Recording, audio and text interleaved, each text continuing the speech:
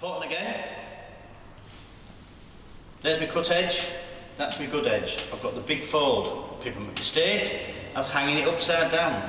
That's a good edge will go up against that good edge. The cut edge I've just cut on the board, go into that corner, or it should go, I've done it by 500 metres around the corner. Foot there, steady it down, check the weight, match my pattern up. I'm exaggerating now, but you can see I'm not matched up. It'll slide a little bit, so slide it into place, match my pattern up, just temporary match it round the corner. Match it up, don't mess about too much because I've got it somewhere near. Once I've got it there, it's going to fall off if I'm not careful. So what I've got to do, right on that very corner where the point is, do a little snip of my shears. I can then fold that round. I'm going to do a bottom fold.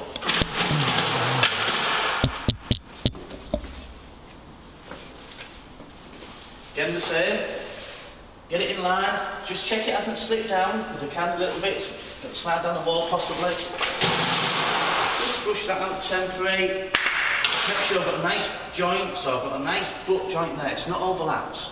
And there isn't a gap. Again, come to the bottom bit. You can do a little pencil back his finger. Little pencil his finger if you like. If not, a little pencil, a little dot. Once I've got that, I can actually brush this out. what I'm going to do then, I get my finger on my brush, finger and thumb, so I'm doing that, down that corner. Into there, brush all the air bubbles out. Into the corner, you can see, because I've cut it perfect, like I always do. It's gone round the corner 500 metres, or thereabouts. It's gone a little bit more at the bottom. The reason why? Because this side that corner or that corner isn't completely straight. So that's why you've got to cut it, because your pattern would go out, you get bubbles in the corner, you get creases. Moved a little bit. Right, at the top, Slipping last time. Standing knife. Release it in. Back in shoes if you need to. Standing knife at the top or your pair of shoes, whichever you're using. Nice deep cutting. Bits of paper down there, get in the bin later. Same at the top. All the way around. Push it well in. Go over it a couple of times if you need to with a standing knife to make sure it's going to cut. Little bit missed, so I'm going to go again. And I've still, still missed a bit, but I've got it in. Right, okay. Before I do that, same as usual, pull it back, wipe the paste off. Same again at the bottom, cut it, shoes or Stanley knife depending, wipe the paste off, you're ready for the next bit of the back wall.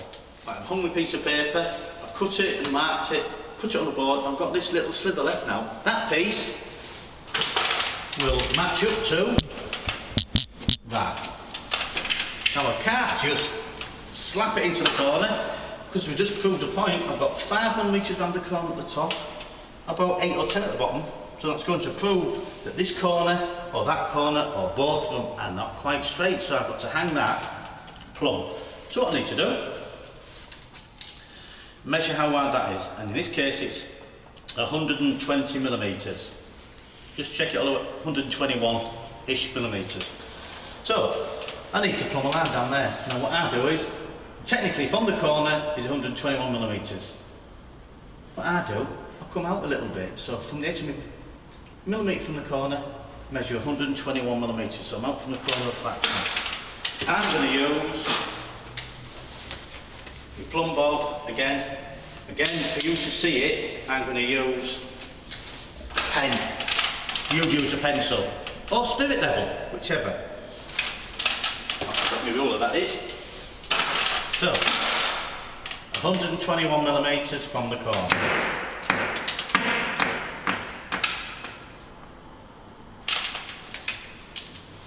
Little dot.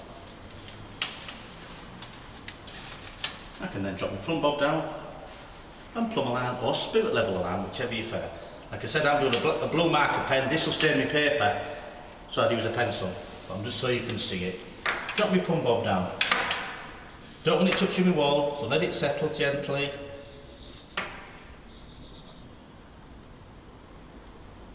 Once it's stopped moving, little mark, in your case it'll be a pencil marker, but every two or three millimetres. Cap recapping, I'm left-handed. Stand in front of it, I shut my right eye. If you're right-handed, stand in front of it, shut your left eye. You've all got a master eye if you're left or right-handed.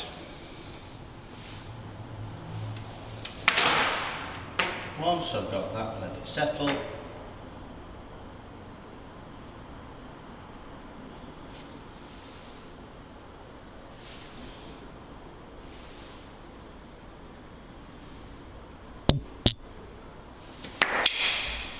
Nice line to go to to hang your paper.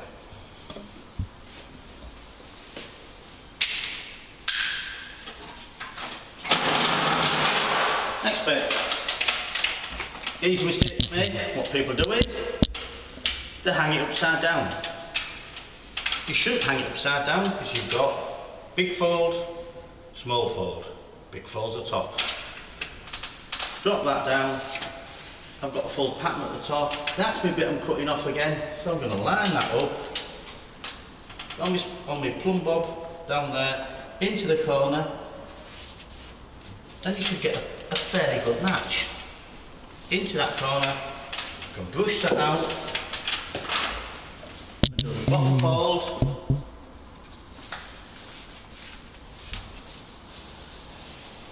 into the corner. Now, what you don't want is a gap or right into overlapping into the corner. If it does, you might have to adjust the plumb line a little bit. So you're adjusting that, get it nice and straight, and it should match up. Mistake you have, it slips down a little bit, slide it up. So that pattern should go in line. You might lose a little bit of the pattern if the bad corner, because you've got the way you cut on the corner too far, which most people do. Mistake they make, 5 millimetres on the corner, not 25. The more you go on the corner, the worse your pattern the corner will look. The important bit, you've got to get that plumb. Cut the top, cut the bottom, and your next piece is normal. Come to the next corner, and we'll do exactly the same. Cut round it, plumb a line. Next corner, plumb a line. Every wall you do, you plumb a line. You might have to cut it in the corner, now we can do about that. But to get, make sure it's plumb, that's the important bit. So make sure your pattern's running true at the top, and you're not twisting this to get bubbles in the corner and creases, or overlaps and gaps. You want a nice butt joint.